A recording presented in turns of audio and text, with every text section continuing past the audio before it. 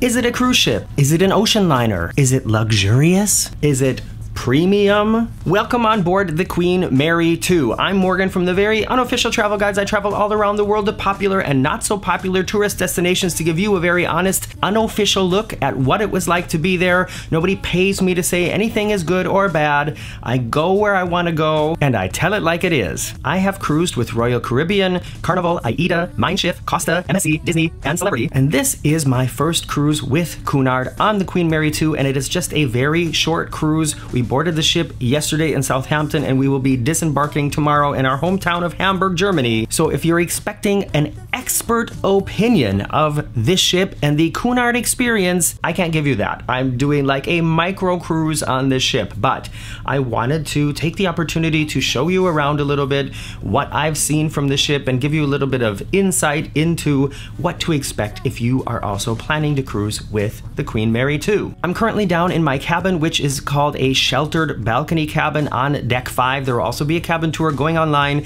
so make sure you subscribe to get a notification when that will go online. And while you're down there, press the thumbs up. It really helps. And in order to make this a little bit easier for you and for me to give you your bearings here on this quite large, very majestic looking ship, I'm going to use the map of the ship to show you around.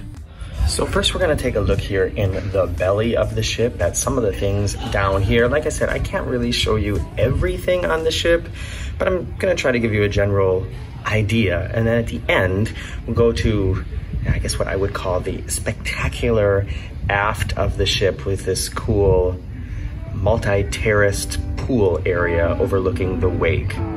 You got me shaking, yeah, I feel the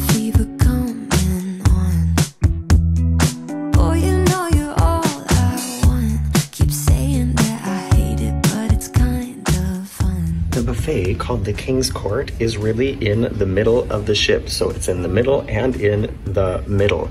And it's divided into strange sort of different sections. There's a there's a whole stairway and elevator bank in the middle of the buffet. So there's a small part back here and then the main part up here. This is the mini part of the buffet. And if you walk through this stairway in this direction, you get to the main part of the buffet. There are a few different seating areas in the buffet, all with sort of a slightly different vibe. This is the main food area of the buffet surrounded by the different seating areas.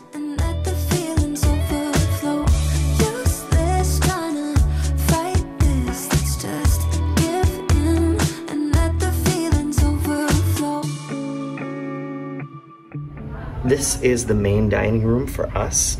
It's called Britannia, and it's a very large, multi-level, very majestic uh, traditional style main dining room.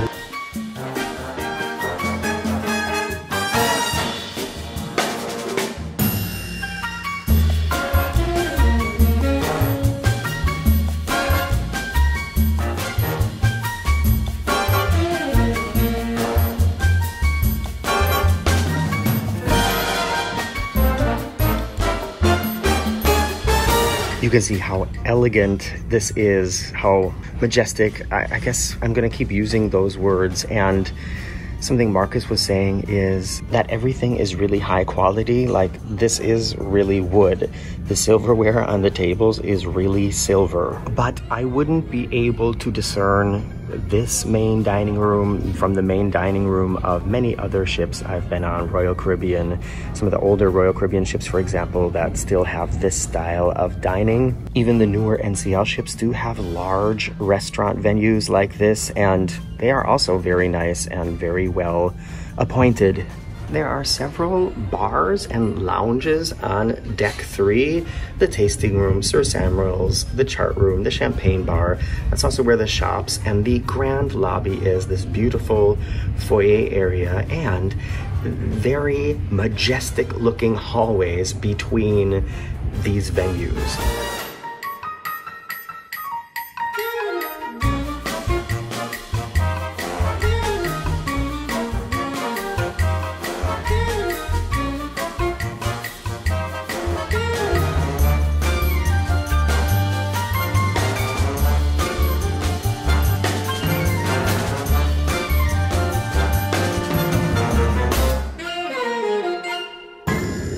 The Golden Lion Pub is directly below the chart room and pretty much has the same footprint but a different kind of decor. They have everything you would expect from an English pub here, including beers on tap. By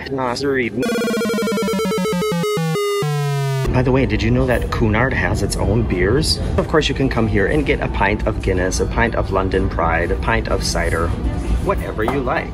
There is a small selection of pub food as well. This is included in the price of the cruise and it says it's served all day, but we were in the pub last night and didn't see anybody with any food. Maybe just nobody was hungry.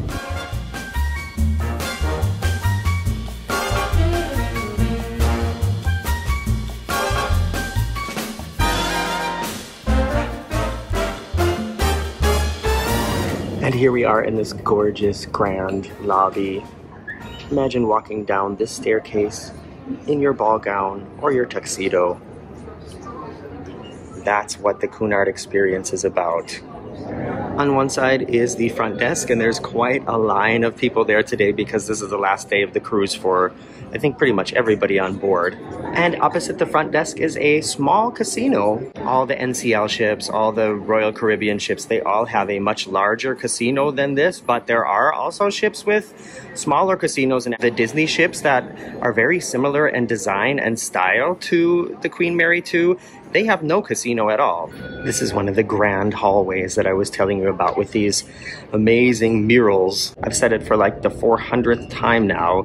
There's just something about it that seems very majestic, almost like you're walking through a museum. This mural represents America. You can see we've got Big Thunder Mountain here, Kennedy Space Center, Oregon Trails, and Homer Simpson. America.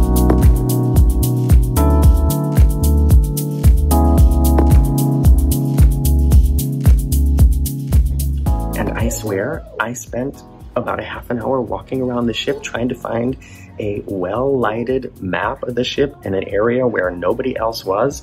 And as soon as I pressed record, this area became Grand Central Station. Let's take a commercial break. Did you get one?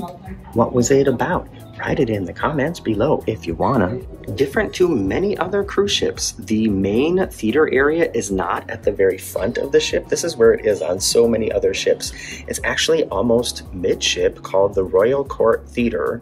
And there's another venue just in front of that called Illuminations, which is also the planetarium. And they offer seminars and lectures there as well as the planetarium.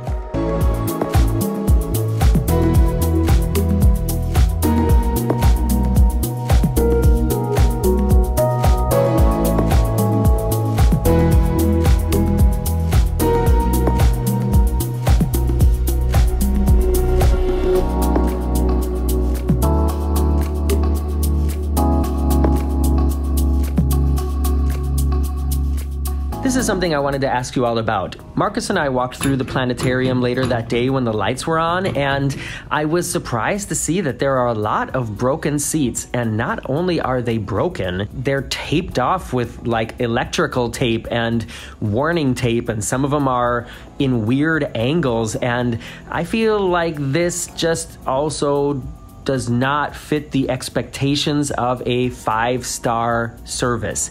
I can think of at least two classier looking ways to block off seats so audience members know they shouldn't sit there? Or can't they just remove the seats? On a less expensive cruise line, I still would feel like this does not look good. Let me know your thoughts about this. Before we go look at this multi-tiered pool area at the back of the ship, I wanted to show you this fantastic, majestic Queen's Room, which is another venue for dancing and live music.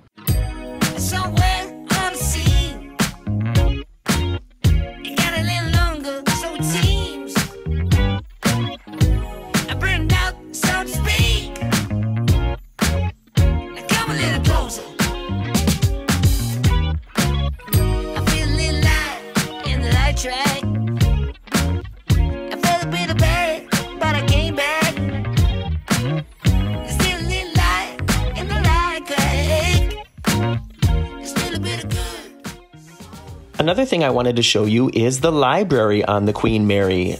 I've seen other ships have like a book corner, but never a large collection of books like this. And another interesting thing is it's quiet in here. Imagine that a quiet area on a cruise ship nowadays with no music playing. Oh, and check out the signs of wear and tear on those chairs.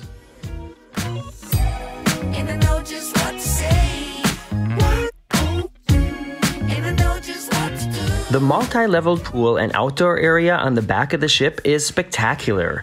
Because of its tiered design, it seems it somehow it seems gigantic. And if you start at the top, there's something about it that makes it feel like you could just keep going down and finding another level and then another level. It's a great place to do some people watching or wake watching, and I know that there are some of you out there who love to watch the wake. How are you feeling about the mood and feeling of the decoration though? To me, it seems kind of industrial. For a place where people are spending their vacation, it seems kind of sterile and colorless to me, but it's definitely functional. At the very top of this back area of the ship is the famous kennel. Yeah, you can bring your dogs or cats on a cruise on the Queen Mary. Are there any other cruise ships that allow that anymore? I know on our transatlantic crossing on the Norwegian Epic, there were some people with emotional support animals, but I think that might be done. The rest of the top deck is mostly taken up by wide open spaces that I assume are used for parties when the weather is nicer. Look at this big open space of, at the moment, nothing. This reminds me of the front part of the top deck of the Norwegian Epic as well. Moving closer toward the front of the ship and up one more deck, there's another huge area of nothing. If you've ever cruised with this ship and have seen this space used for something, please let me know. There's also a small indoor pool area with upgraded pool chairs, and this area does give me a five star vacation feeling. This pool, however, just like the other pool in the outdoor area, was they were not in operation for our cruise, but it was so short, I didn't have time to go swimming anyways.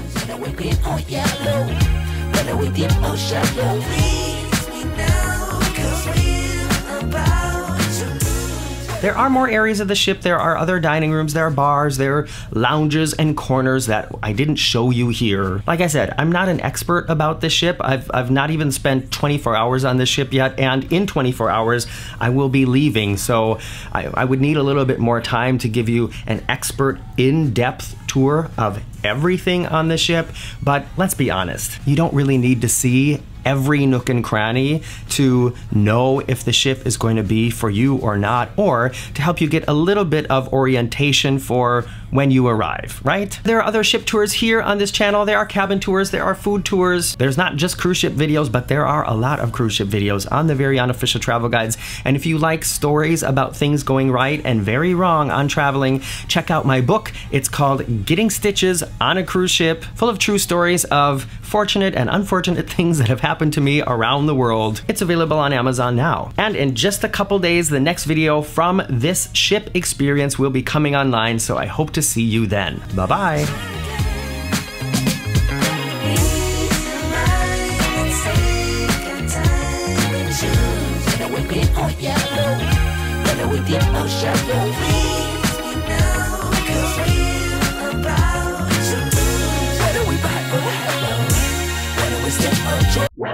It's about a million degrees in here.